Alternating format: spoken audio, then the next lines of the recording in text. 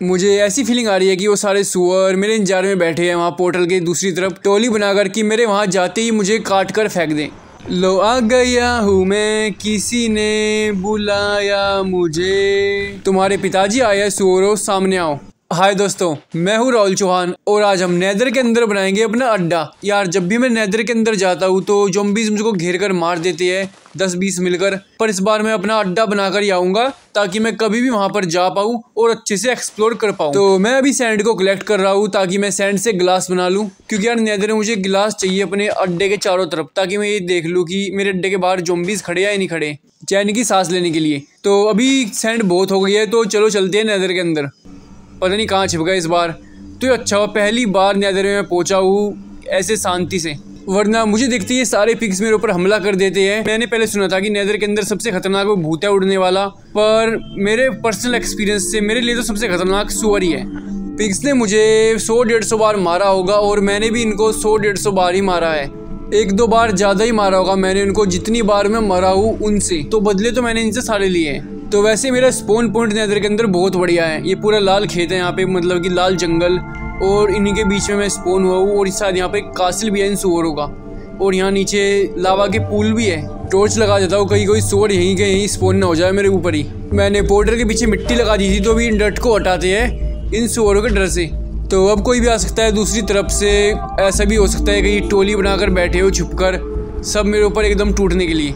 तो अभी जल्दी से अपने अड्डे को बनाते हैं। इससे पहले उड़ने वाले स्क्वायर भूत और ये सुअर मेरे ऊपर कूद पड़े। तो वैसे अभी तो मैं डर्ट लगाऊँगा, पर बाद में डर्ट को उठाकर यहाँ पे कोबल स्टोन लगा दूँगा और कुछ जगह यहाँ पे शीशा लगा दूँगा, ताकि मैं अंदर से ही रहकर इनको देख सकूँ। तो यही हमारा अड्डा बनेगा छोटा सा प्यारी सी गली है ये, और इस पूरी गली को मैं अपना अड्डा बनाऊँगा नेदर के अंदर। इससे बढ़िया कुछ नहीं हो सकता। बाद का, बाद में देखेंगे। अभी तो छोटे बेस के लिए ये ठीक है। तो यहाँ मुझे इतनी कंजूसी भी नहीं करनी चाहिए कि आप बताओ बावला भूत मेरे ऊपर ही आ जाए और यहाँ आग की बारिश कर दे। तो इसी के साथ हो जाएगी हमारे नेदर पोर्टल की बेसिक सुरक्षा। मुझे यकीन नहीं रहा कि मैंने इतनी सारी जगहों पर डर्ट लगा रखी थी।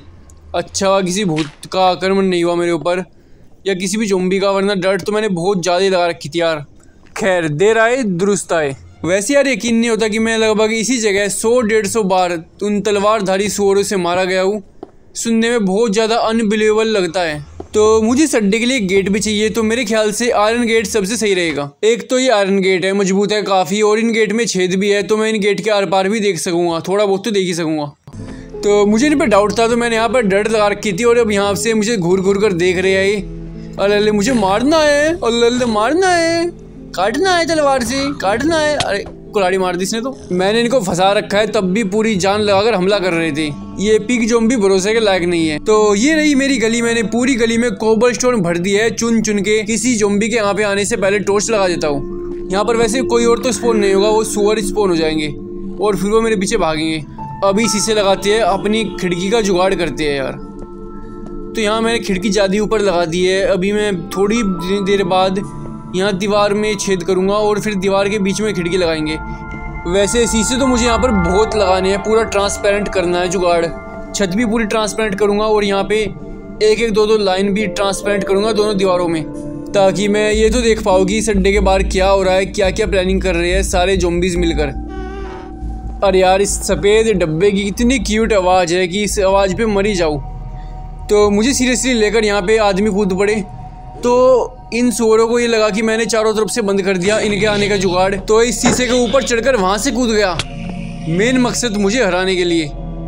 ये पता नहीं इन सुअरों को दुश्मनी क्या है मुझसे। ये भी कूदने की ताल लगा रहा है, जल्दी से मुझे यहाँ पे पूरा भरना होगा। ये ये सोच रहा है कैसे कूदूँ। पर ये भी पीठ पीछे ही कूदेगा। सामने तो इन्हें कूदने की हिम्मत नहीं है। इसको पता है इसका बाप बैठा है सामने। जल्दी जल्दी से लगानी पड़ेगी। मुझे पता नहीं इससे पहले कौन सी आफत आ जाए। और अब मेरा आधा बेस पूरा गिलास प्रूफ हो गया है। अब कोई अंदर नहीं आ सकता। वैसे शीशों की कमी पड़ गई थी, पर मैंने इनको लगा रखा है भट्टी में। तब तक मैं बाकी चीज़ें देख लेता हूँ। तो ये रहा हमारा नैदर पोर्टल काफ़ी बढ़िया लग रहा है। बस एक भद्दे निशान को छोड़कर अब इसको हटाना पड़ेगा। ये बहुत बुरा लग रहा था।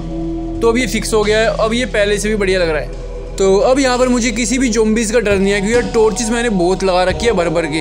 अगर अभी भी जोम्बी स्पोन होंगे तो कोई आदमी क्या ही कर सकता है। तो यार ये बच्चा मेरे सामने नैदर पोर्टल से बाहर निकला है, पर ये भूल गया कि क्या करने आया था। वैसे मुझे मारनी आया था ये। वापस चला गया। तो बच्चा समझदार था, बच्चे को पता था कि बच्चा भी अकेला है, मैं भी अकेला हूँ और मैं बड़ा भी हूँ तो मैं उसको आराम से पेल दूँगा। तो यहाँ पे मैं लगाऊँगा शीशे और शीशे के लिए मैंने पूरा ये कोबल स्टोन यहाँ से हटा दिया है, ये मैंने लगाया था, पर बिल्कुल बढ़िया लग रहा है। तो छत तो मैंने ढक दिया है, पूरा एरिया मैंने पैक कर दिया है। कोई भी भी अंदर नहीं आ सकता, मेरी इच्छा के बिना, और यहाँ से बाहर भी नहीं जा सकता। स्पोन ही नहीं होगा यहाँ पर कोई। तो अब यहाँ पे मैं अच्छे से अपना इंतज़ाम करूँगा रहने पीने का। जब भी मैं नज़र में आऊँगा, अब मुझे डर नहीं होगा कि कोई भी मुझे घेर घार कर मारेगा। जैसे कि सफ़ेद डब्बा प्यारी प्यारी आवाज़ निकाल रहा है, पर इससे मेरा अब तक एक बार भी सामना नहीं हुआ है, और तभी भी ये बहुत ज़्यादा ड्रावनी वाइब्स दे रहा है। तो फाइनली पूरी तरह तैयार हो गया है मेरा नैदर में छोटा सा प्यारा सा अड्डा।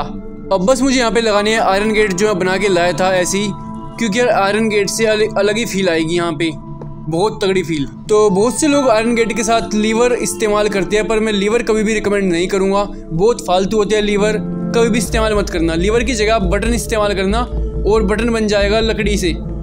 मेरा मतलब प्लैंक से। एक प्लैंक से एक बटन बन जाएगा और बटन से ये होता है कि जब भी आप आयरन गेट को खोलोगे तो वो अपने आप ही कुछ सेकंड बाद बंद हो जाएगा। इससे आप आ भी सकते हो, जा भी सकते हो।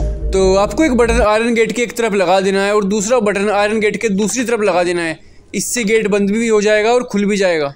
अगर दोनों में से एक बटन काम ना करे तो इसका सिंपल मतलब ये होगा कि आप गेट और ब्लॉक की सेटिंग नहीं बिठा पाए। आपको भी फिर से गेट और ब्लॉक लगाने पड़ेंगे। लाइक मार दो सब्सक्राइब कर दो और शेयर कर दो।